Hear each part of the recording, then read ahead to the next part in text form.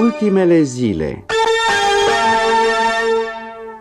Povestire de Mordecai Roșoal Scrisă în anii războiului rece. Distribuția. Ofițerul declanșator X-107 Șerban Celea. Ofițerul declanșator X-117 Daniel Tomescu. Ofițerul declanșator X-127 Florian Pitiș. Difuzorul Constantin Codrescu. Alt difuzor Liviu Crăciun. P867 Psiholog din personalul auxiliar Lucia Mureșan. Regia tehnică și muzicală Inginer Vasile Manta. Regia artistică Cristian Munteanu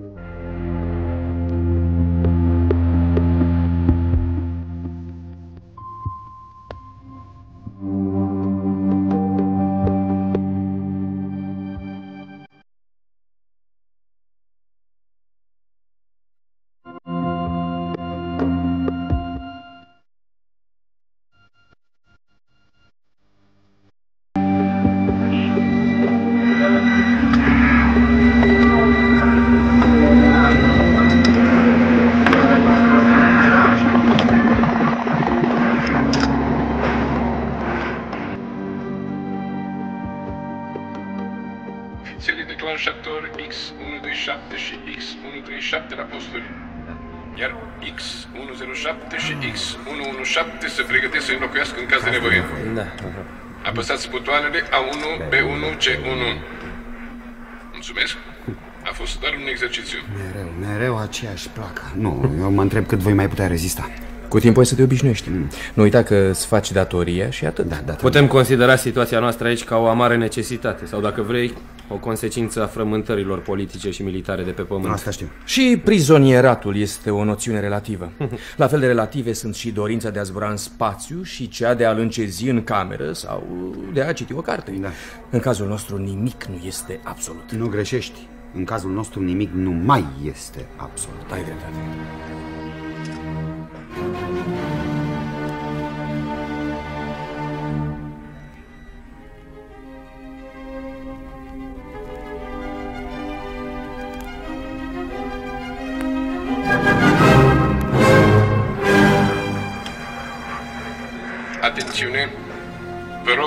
Rog, atențiune! Vă aflați la cel de-al șaptelea nivel al Departamentului Ofensiv al Apărării Țării noastre, la 1500 de metri sub nivelul mării. Pentru lumea de sus sunteți invizibili, dar aveți sub vârful degetelor soarta ei. Poate nu este departe ziua în care vi se va comanda să apăsați un buton anumit și atunci degetul vostru va fi acela care va nimici pe dușman și ne va asigura victoria. Aici aveți tot ce vă este necesar. Sunteți total independenți de lumea de afară. Aici vă puteți face noi prieteni, vă puteți întemeia o nouă familie, dar nu veți mai avea posibilitatea de a reveni la suprafață. Încercați să vă acomodați cu noul mediu cât mai repede cu putință. Vă dorim acest lucru din tot sufletul. Vă mulțumim! Acum îmi dau seama de ce scara rulantă merge numai în jos. De ce ușa turnantă se deschide permițând doar intrarea, nu și ieșirea? De ce puțul ascensorului, după cum ni s-a spus, a fost închis? E de-a dreptul caragios. Pot printr-o simplă apăsare de buton să nimicesc omenirea, dar nu am un buton care să-mi comande liftul în sus. De ce a trebuit să fiu ales tocmai eu? Ați fost selecționat datorită calităților personale. Nervi tari, pricepere tehnică, ambiție, inteligență și o sănătate perfectă. Bine, dar nu există nicio garanție că într-o bună zi nu o să-mi pierd mințile. Ordinele se execută, nu se comentează. Stai, stai. Datoria noastră este să rămânem aici, aplecați asupra acestor butoane fatale, chiar dacă războiul nu se va declanșa niciodată. Iar dacă războiul nu va izbucni niciodată? S-ar putea să ai dreptate și asta din cauza că inamicul știe de nivelul 7. Bine, dar dacă nu mai suportăm izolarea de aici și ne hotărâm să apăsăm pe butoane, hm? crezi că ar mai putea opri cineva declanșarea războiului nuclear? Uiți că la nivelul 7 există un super factor decizional? Hm? care posedă un circuit de control coordonând centralele ofensiv-declanșare la bazele de rachete. Oricum, cu sau fără război, nu vom mai părăsi niciodată acest ultra-izolat nivel 7, unde nu ne mai trebuie soare pentru că avem lumină fluorescentă, unde este inutil să ne dorim o friptură caldă, doar avem pilule concentrate de toate culorile și pentru toate gusturile. Oricum sună cam prozaic să te plimbi sub ferica lumină fluorescentă, rumegând pilule multicolore și optindu-i cuvinte dulci lui F203, P175 sau uh, AFT 622 sau... Mă rog, grozav surogat de viață, n-am ce zice. Da. Ce-ți închipui? Știi prea bine că nivelul 7 este limitat. Aici nu încape luxul. El trebuie să permite existența 500 de oameni pentru 500 de ani. Avem destulă hrană și rezerve ca să fim independenți la peste un kilometru sub pământ. Ceea ce nu se poate afirma despre multe țări de la suprafață. Da, cu alte cuvinte, ar trebui chiar să fim recunoscători. Da, ar trebui, ar trebui chiar să fim. S-a amenajat aici chiar și o sală de conversații. Doar nu te așteptai la o sală de concerte, Deci nu? nu-mi rămâne decât să mă consolez, nu? Foarte bine. Bine, am să fug pe culoare, strigând, privește în jur, vei găsi oameni, vei avea prieteni, vei fi de-al lor, te vei obișnui. Dar oare nu se putea ca acest comandament să fie plasat, știu eu, undeva în deșert, la Polul Nord, pe o insulă ascunsă în Pacific, oriunde, oriunde, dar la suprafață? De ce aici, în închisoarea asta Mă subpământeană? faci să râd. Nu crezi că e necesar un minim de siguranță?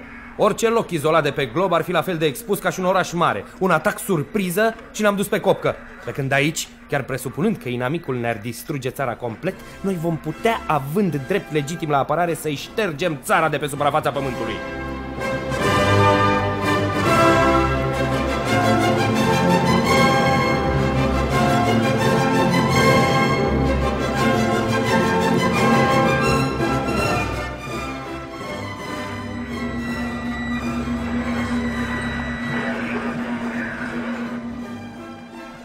Trebuie să recunoaștem că nivelul 7 e o demonstrație convingătoare a unei egalități de pline. La noi nu există superior. Nu trebuie să salutăm pe nimeni. Trebuie doar să ascultăm niște ordine impersonale. Recunoaștem doar autoritatea difuzorului. Ce să spun? Totuși, la microfonul rețelei de difuzoare se află cineva care ne ordonă. Da, dar o persoană anonimă și deci ne reprezintă pe toți. Ne, e adevărat că nu există nicio legătură cu suprafața. Doar comunicații.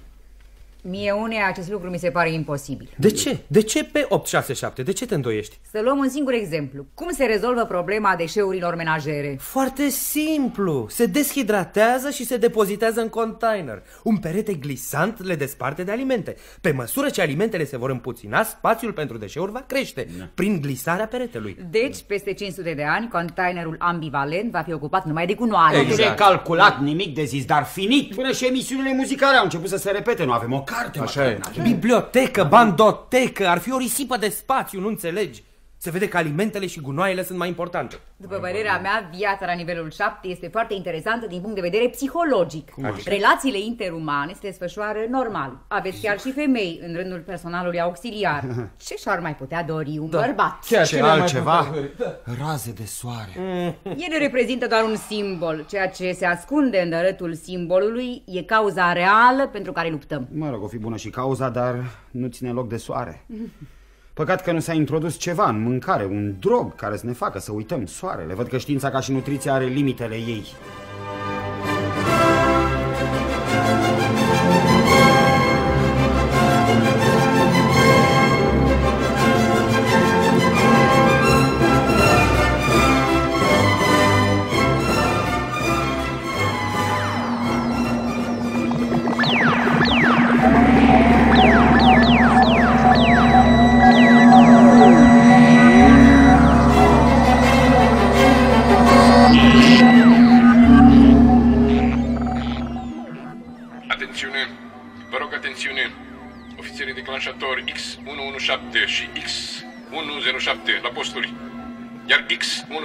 X127 și X137 se pregătesc să înlocuiască în caz de nevoie. Apăsați butoanele A1, B1, C1.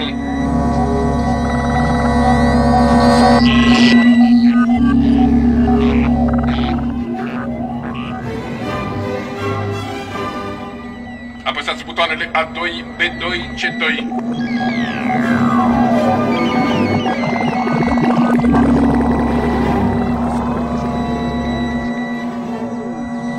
motoarele A3, B3, C3.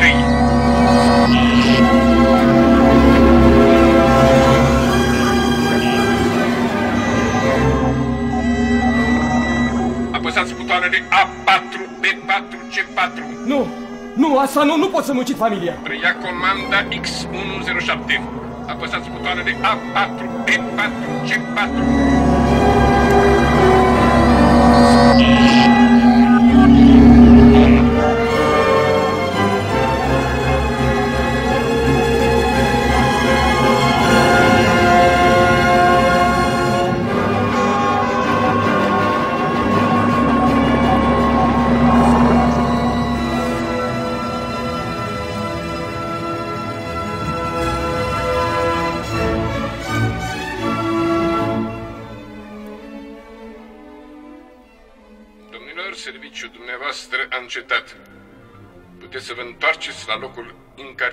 Sau dacă preferați, puteți rămâne în centrală pentru a viziona rezultatele butoanelor A4, B4, C4.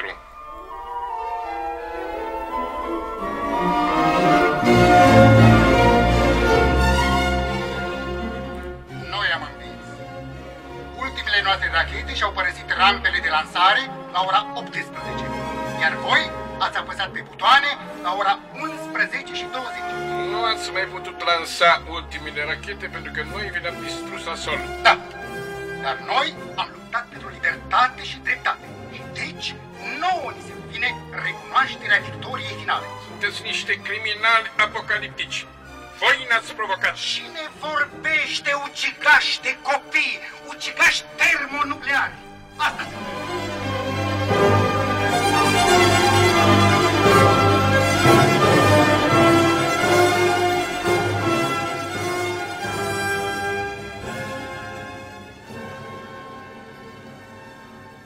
E? X117, cum te mai simți? Mersi. Mă simt extraordinar. Grozav.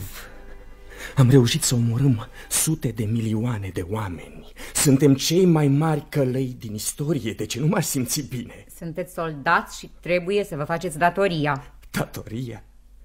Poate fi numită datorie stârpirea celorlalți. Am căsăpit milioane de oameni, i-am carbonizat, i-am otrăvit. Asta au făcut-o toți călăi din lume. Dar erau cel puțin la poruncile unui judecător. Pe când noi, eu, am executat ordinele unui difuzor. A plecat furios. Da. X117 nu a fost o alegere prea strălucită pentru nivelul 7. Psihologic vorbind, cazul este obișnuit, o regresie nevrotică înspre copilărie. Dar aici nu ne putem îngădui indivizi sociali. Mi-e milă de X117. Dar îl și invidiez pe undeva. Își dă seama că își va pierde mințile, dar este așa pentru că și-a iubit familia. Pe când eu... Eu sunt singur, am sufletul amputat, deformat. Atențiune! Vă aducem la cunoștință că de acum încolo, în nivelul 7, este permisă căsătoria. În siguranța oferită din nivelul 7, trebuie să veghem la perpetuarea speciei și la păstrarea substanții biologice a națiunii. Ce crezi despre căsătoriile astea? Hmm. Nu e așa că sunt o adevărată minunăție? Minunăție, orice căsătorie este o prostie, tot atât de veche precum lumea. Sunt sigură că nu crezi ceea ce spui. Ba da. Vrei doar să-ți ascunzi adevăratele sentimente și atât. După câte îmi dau eu seama, nu e nimeni îndrăgostit în mod serios. Asta nici n-ar fi posibil, căci aici, la nivelul 7, nu trebuie să avem sentimente, nu? Știi că am primit deja două propuneri prin serviciul de mijlocire a căsătoriei. Oh. Din acest moment, ele ar putea deveni operante. Felicitările mele amândouă simultan. Cum nu te face gelos peste asta? Mm. Sau ești atât de sigur de farmecul tău încât ești convins că voi respinge ambele propuneri? Mm. Ești un cuceritor rafinat, X127.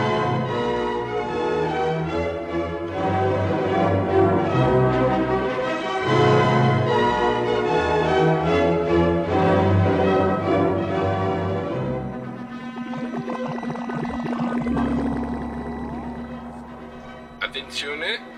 Sunteți în fața unui eveniment care va intra în istorie. Prima căsătorie la nivelul 7. X127 cu P867. Numele lor va purta de astăzi ca anexă litera C. Felicitări! Receptoarele noastre nu mai captează niciun semnal radio de la vreun post terestru. Din puzderia de emițător de acum câteva zile. Nici nu poate urca nimeni sus să vadă ce se întâmplă. Iradierea este prea intensă și oricine ar muri repede. Nu putem lua legătura nici cu nivelul 1. Pe frecvența lor nu mai recepționăm niciun semnal. Numai un mic procent din populație a văzut sfârșitul conflagrației. Acum pământul a scăpat în sfârșit de coșmarul suprapopulării. Sute de milioane de indivizi au murit în trei ore. Putem asculta încă un program destul de variat, de la mesajele înveninate ale inamicului, ascuns și el sub pământ, până la criticile furibunde ale celor de la nivelul 2. Îmi pare bine că ești bine dispus și da. că tratamentul meu psihiatric ți-a fost de folos. Să-ți spun drept mai cam speriat cu criza de misticism în care te apucase de ună zi. Poate chiar sunt un Dumnezeu sau uh, sunt pe cale de a deveni unul. Se va institui o nouă mitologie aici, la nivelul 7. Dumnezeul care a apăsat pe butoane. Ha, ha, ha, ha. Dumnezeul X117. Nu te mai gândi la cei deasupra. Uite, eu am imaginat deja o poveste pentru micuții care se vor naște la nivelul 7. Ce poveste? A fost odată un copil, C777, tare neascultător, care voia mereu să vadă ce este acolo sus, unde îi se spusese că domnește el, stronțiul, stăpânul vieții și al morții, cu ajutorul servitorilor săi, drăcușorii, alfa și gama. Așa. Nimeni nu știe cum părăsise nivelul 7, dar lăsase un bilețel în care scria că a plecat sus să se joace cu alfa și gama. E lesne de imaginat că a fost omorât imediat de drăgușorii aceia. Iată, dragii noștri copii, morala acestei istorioare. Nu vă mai gândiți la lumea de la suprafață și fiți fericiți aici. Gândiți-vă la sărmanul C777 care și-a plătit curiozitatea cu viața. Comunicat de la nivelul 2. Oamenii pierd ca muștere. Sângele nostru este radioactiv. Ne-ați otrăvit și pe noi. Sute de oameni zac în durere atroce. Vă cu toții în scurt timp. Nu mai pot, credeți-mă, eu... Adăposturile noastre devin cabouri colective, morminte comune ale chinului omenesc.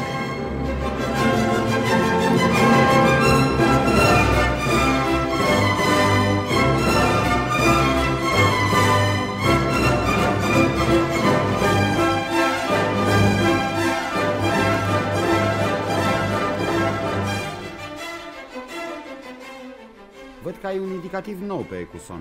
Ce semnifică litera R? A, nu știi? Nu. Înseamnă rezervă. Rezervă? Da.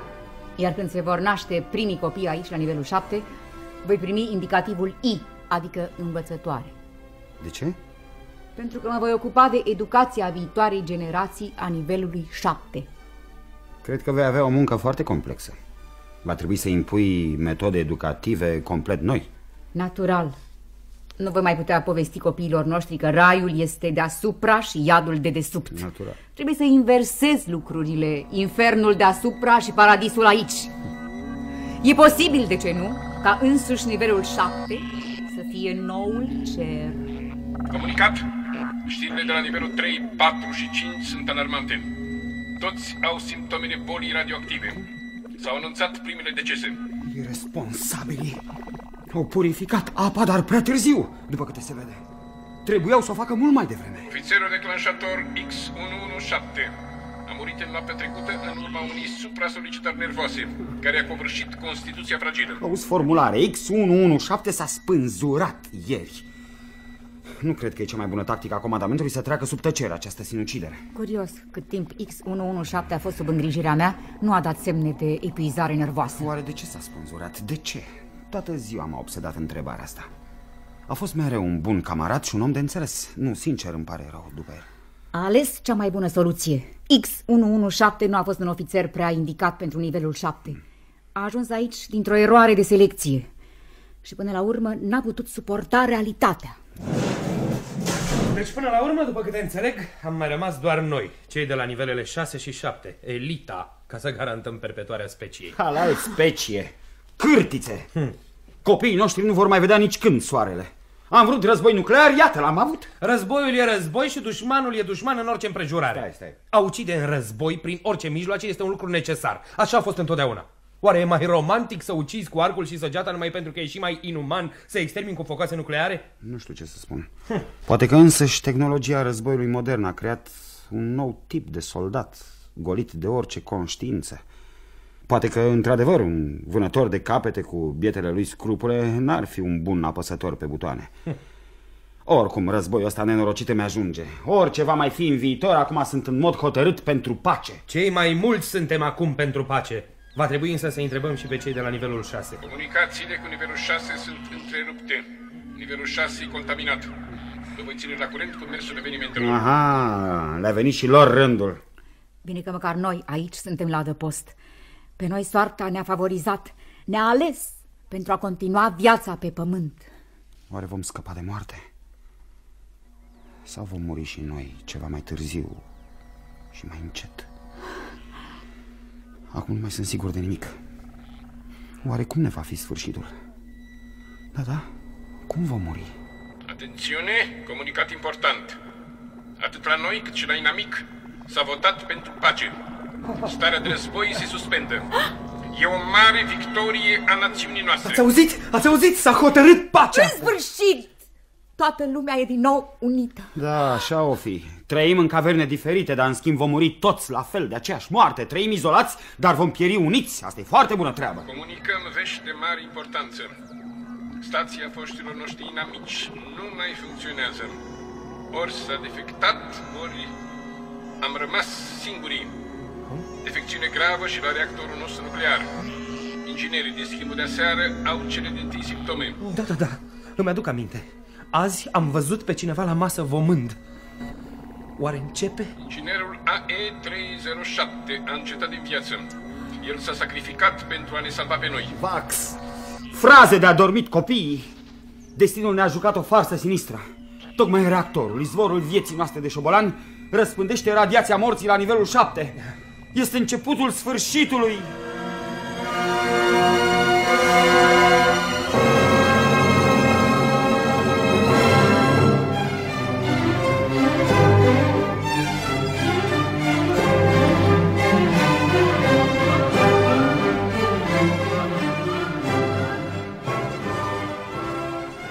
să ucidem prin atomul destinat războiului și vom muri prin atomul destinat păcii.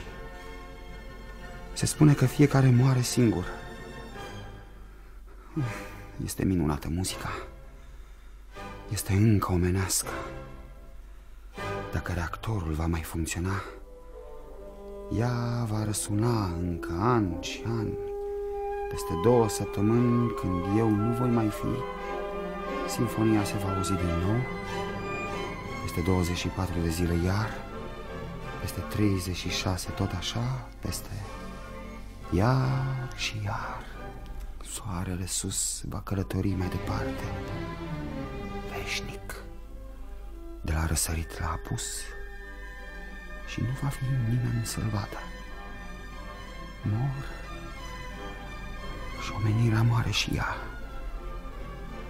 Eu însumi sunt omenirea muribundă, dar muzica să rămână, ceva să rămână, să rămână. Acum, acum se întunecă totul. Nu mai văd nimic,